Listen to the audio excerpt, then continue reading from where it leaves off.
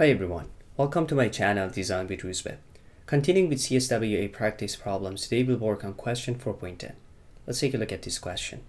So in this question, unit of measurement is millimeter gram second. Like always, we need to ensure we are using the same unit of measurement in SolidWorks setting. Now, looking at this question, we can see that we have a symmetric geometry.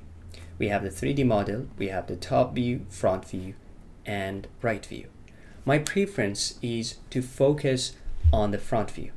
I'm going to make a 2D sketch of the front view, only half of that, because it's a symmetric geometry, I can simply use mirror command to make the full geometry. And at the end, I'm going to focus on small features like these holes. So with this introduction, let's jump into SolidWorks and start modeling this part. In SolidWorks, first thing first, we need to check unit of measurement. And you can see that we have millimeter gram second as a unit of measurement. So this is a correct unit of measurement. Now, as I mentioned, I want to start with the front view. So let's click on the sketch, click on the sketch command, and I choose front view. Because this is symmetric geometry, I click on line command, I click on center line, and then here I'm going to make a symmetry line. Now, as I mentioned, we want to start with a rough 2D sketch of the front view. So what I can do, I can click on arc command, and then here I'm going to make an arc shape, something like this. Then I can click on line command and then starting from this point, I go to down, I go right, then line on the angle, then going up, going to right, up, left, and down, okay? So this is a rough 2D sketch. Now, in order to make this fully defined, we need to add some dimensions. So let's add dimensions. First, looking at the front view, we know the radius of the curve. So let's click on the smart dimension and this radius is 23 millimeter. Also looking at the front view, we know that the height of this line should be 6 millimeter. Looking at the front view, you can see the length of the bottom line. You can see the full length is 26 millimeter because we are only modeling half of that, this should be 26 divided by 2, which is 13 millimeters. 26 divided by 2. The angle between this line and horizontal line is 45 degree.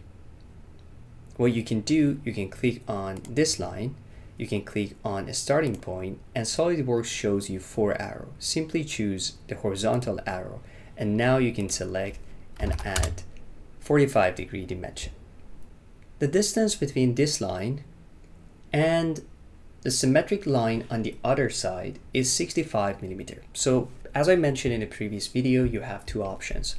First one is to simply click on this line, click on this line, and then add half of the dimension here. Or the simplest way is to simply go to the left side of the symmetry line and SolidWorks automatically shows you the distance between these two lines.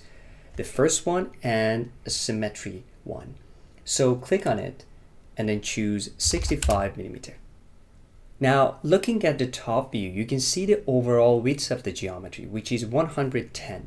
So I can click on this line and then SolidWorks automatically shows the distance from right to left. We want this to be 110. Click on it and this should be 110.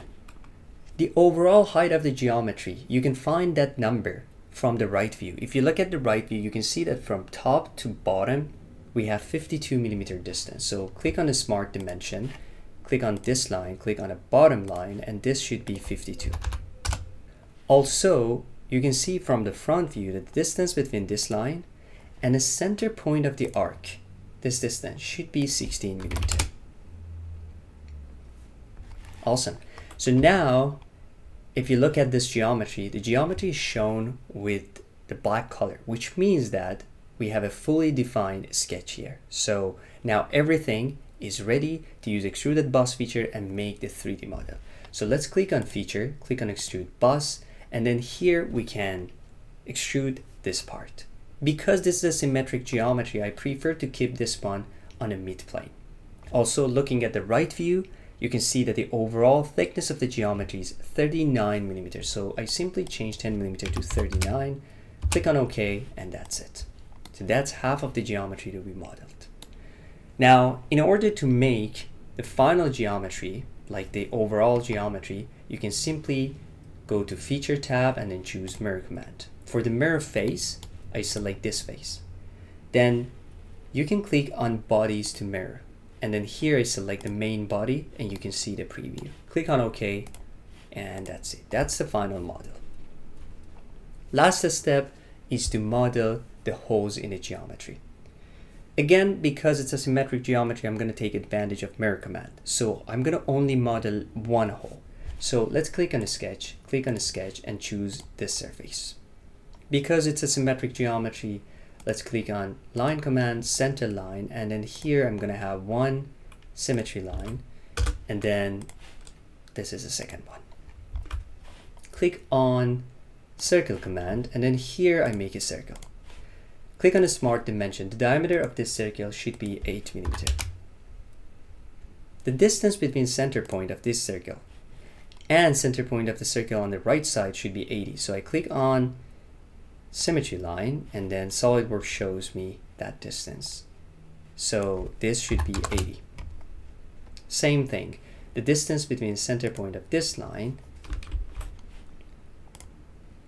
and the symmetry line on the other side this should be 19 millimeter. Now you can see that we have a fully defined circle. Everything is ready to use extruded cut feature. Click on feature, click on extrude cut, and then here you can cut the geometry. Click on OK, and that's it. So now this is a hole in the geometry. In order to mirror this hole, you can click on feature and then mirror command. And then here, I want to do everything at once. So you have the option to choose two plane. For the first plane, click on drop down menu and I choose front plane. So this is a first symmetry plane. For the secondary plane, I choose the right plane. So these are two symmetry planes. And here, I don't want to choose the body, it's a feature basically. So click on feature to mirror and from the drop down menu, choose extrude cut. And you can see the preview now. Click on OK and that's it. So now we have everything modeled in this ge geometry. Okay, so now it's time to check the total volume and make sure that this is actually the correct model. So let's go back to the question and check the total volume. In the question, you can see that total volume is 65,203 cubic millimeters. Let's go back to SolidWorks model and then check the total volume. In SolidWorks, in order to check the total volume, you can click on Evaluate and then Mass Properties. And then here you can see the total volume. The total volume for the model is 65,202 cubic millimeters. If you round up this number, you're to get exactly same answer as shown in the question. This is showing that our model is correct and there's no problem with it. Okay, awesome. I think that's a wrap for this video. This was a quick video. I hope you guys enjoy it. And if you have any comments or feedback, please leave comments down below. Thanks again for watching. My name is Rouzbeh. Hope to see you again soon in the next videos.